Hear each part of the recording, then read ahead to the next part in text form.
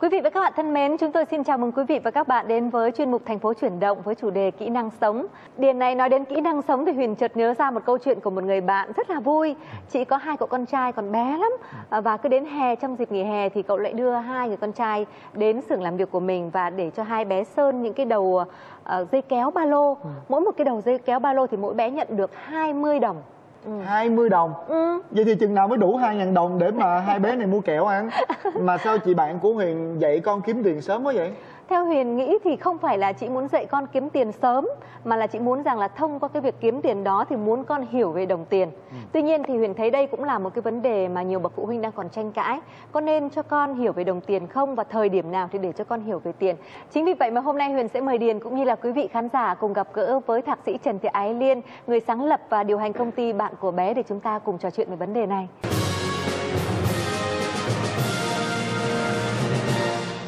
Xin chào chị Liên ạ. Xin chào Huyền, xin chào Điền và xin chào quý vị khán thính giả. Dạ thưa chị Ái Liên, Thanh Đi được nhiều quý vị phụ huynh chia sẻ rằng là khi mà tham gia lớp cha mẹ am hiểu do chị à, hướng dẫn thì à, chị có chủ trương là nên dạy cho con biết về đồng tiền ngay từ khi còn trong bụng mẹ. Tại sao dạy sớm đến như vậy ạ? Có nhiều người họ nghĩ rằng dạy con về tiền hay dạy con tự bảo vệ, tức là nói về những cái nguy cơ xung quanh bé sẽ làm cho bé mất đi ngây thơ từ sớm. À, quan điểm cá nhân của Liên là người ta chỉ mất đi sự ngây thơ khi người ta trải nghiệm cái sự đau đớn, cái mặt trái của cuộc đời. Vì vậy mình dạy cho con những cái nguy cơ tiềm ẩn, mình cho nó cái thông tin về những mặt trái của đồng tiền hay mặt trái của cuộc đời. Tức là mình bảo vệ cho nó làm sao tránh trải nghiệm điều đó. Và khi mà người phụ nữ có mang thì tín hiệu thần kinh của bé và mẹ dính liền nhau. Cho nên Việt Nam mình có câu rất hay là con vào dạ là mạ đi tu. Nghĩa là người phụ nữ phải nghĩ đúng, làm đúng, nói đúng. Vì tất cả những gì mình nói mình làm thì cái tín hiệu thần kinh nó cũng truyền qua đứa nhỏ hết. Vì vậy lúc đó mà mình tham tiền, lúc đó mà mình nghĩ tới chuyện uh, biển thủ hay là gian dối hay là căng thẳng vì tiền, đứa nhỏ nó cũng sẽ như vậy. Vì vậy cái lúc mà đứa nhỏ trong bụng mình thì hãy cố gắng nghĩ những việc hiện tại vui vẻ, đừng cố gắng nghĩ tới quá khứ tương lai, đừng lo lắng quá độ về tiền bạc trong tương lai. Đó là cái ý mà Liên nói là dạy con về tiền là ngay từ trong bụng là vậy. Có nhiều bậc phụ huynh là không muốn để cho con tiếp xúc với đồng tiền.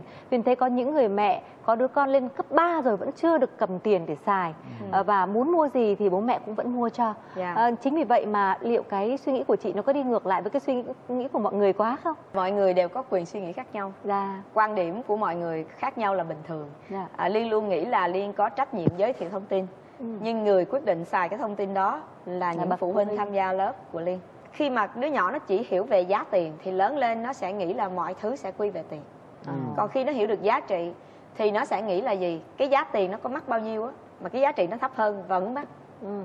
Cái giá tiền nó có cao bao nhiêu mà giá trị nó vẫn cao hơn, vẫn rẻ. Và cái điều quan trọng là gì? Dạy con về tiền, tức là phải dạy cho con hiểu rằng đồng tiền nó không xấu hoặc tốt. Nó xấu nếu mình làm nó ra bằng cách xấu. Hoặc là mình làm nó ra rồi mình xài bằng cách xấu. Bản thân đồng tiền nó chỉ là công cụ. Vì vậy mình không nên làm nô lệ cho đồng tiền mà phải làm sao cho tiền nó phục vụ mình. Dạ. Và nếu không có tiền phục vụ mình, mình vẫn nhìn thấy những giá trị khác để phục vụ mình.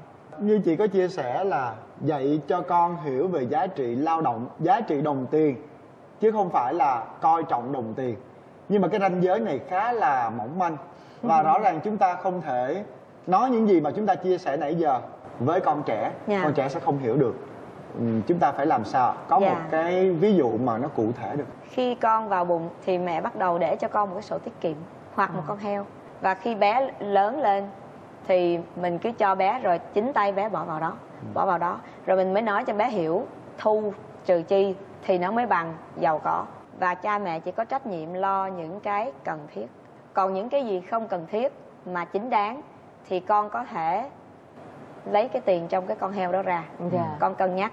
Không chính đáng thì đương nhiên là không được vì vậy đứa nhỏ nó sẽ không có vòi vĩnh mà nó sẽ biết tính toán.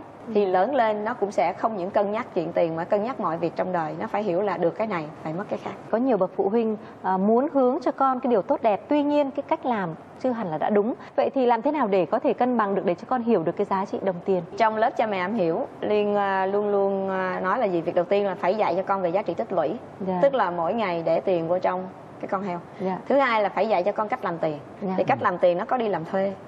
có đi làm chủ thuê người ta làm Dạ. có đi bán hoặc là đầu tư nhưng nếu nó có nhu cầu nhiều hơn và nhu cầu đó chính đáng thì mình sẽ tạo cho nó cái cơ hội để làm việc trong nhà trả tiền Ừ.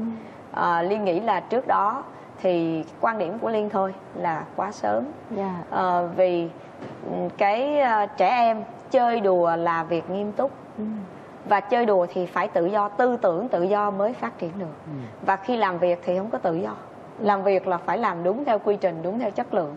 Vì vậy trên 10 tuổi mới hãy bắt đầu tạo điều kiện cho con làm việc để được trả tiền. Và trước 10 tuổi thì con đã làm những việc trong gia đình là một phần trách nhiệm đối với gia đình. Thì sau này những việc đó không được trả tiền nữa vẫn tiếp tục làm những việc khác mới trả tiền. Ừ.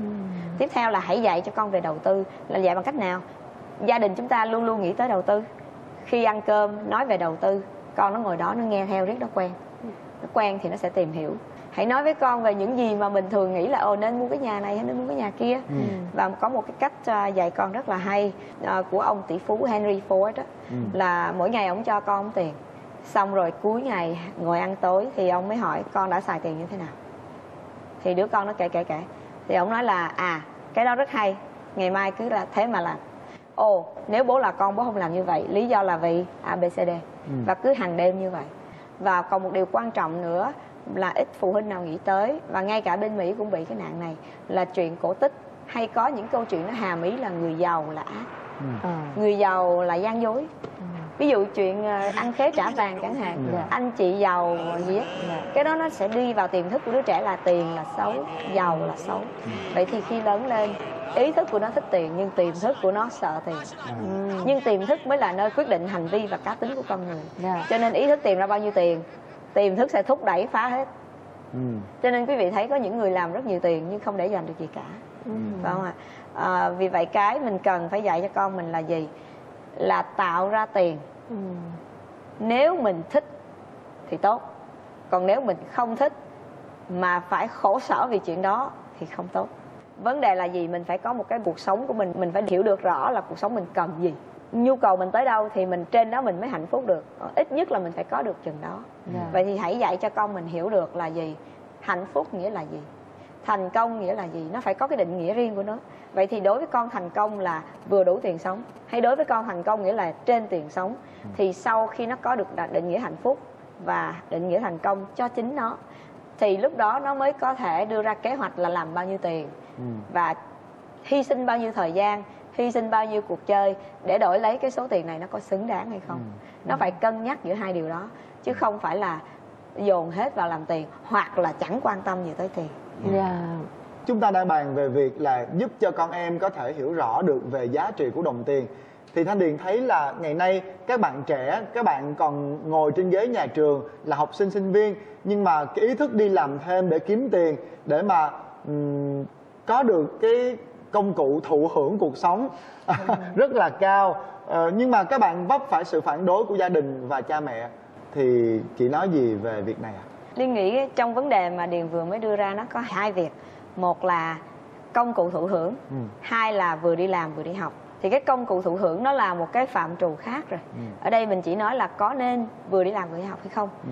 Ờ, cha mẹ thường hay sợ hãi rằng khi con vừa đi làm vừa đi học thì sẽ ảnh hưởng việc học. Khi mà sinh viên vừa đi làm vừa đi học thì sinh viên có cơ hội để cọ sát cuộc sống ở cái mức độ nhẹ nhàng. Vì những công việc này lúc này nó chưa có trách nhiệm nhiều thứ hai là sinh viên sẽ có cơ hội để chạm lấy cái mặt trái của cuộc sống ở cái mức độ cũng nhẹ nhàng.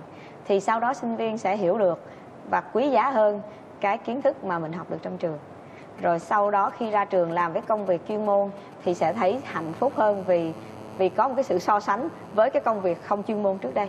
Thứ ba nữa là đi làm việc như vậy thì sinh viên mới học được cái ờ, thói quen kỷ luật lao động Ừ. thói quen giao tiếp vì vậy ờm, khi mà sinh viên đi làm với cái mục đích là công cụ hưởng thụ thì có lẽ là à, điều không nên nhưng nếu sinh viên đi làm với mục đích là muốn phát triển muốn hiểu rõ muốn có kinh nghiệm thì đó là điều rất nên à, rõ ràng chúng ta thấy rằng là đồng tiền không phải là hiện thân của cái xấu Dạ. mà là cái thái độ của chúng ta với đồng tiền cách chúng ta xài tiền cách chúng ta kiếm tiền mới Dạ. phản ánh được là tốt là xấu. Dạ. và hy vọng rằng là câu chuyện chia sẻ của chúng ta ngày hôm nay cũng sẽ là một tham khảo hết sức bổ ích dành cho quý vị phụ huynh để quý vị phụ huynh có thể biết cách dạy dỗ con em mình một cách đúng cách nhất.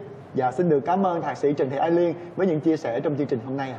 Dạ xin cảm ơn hai bạn. À, xin cảm ơn quý vị đã tham gia theo dõi hôm nay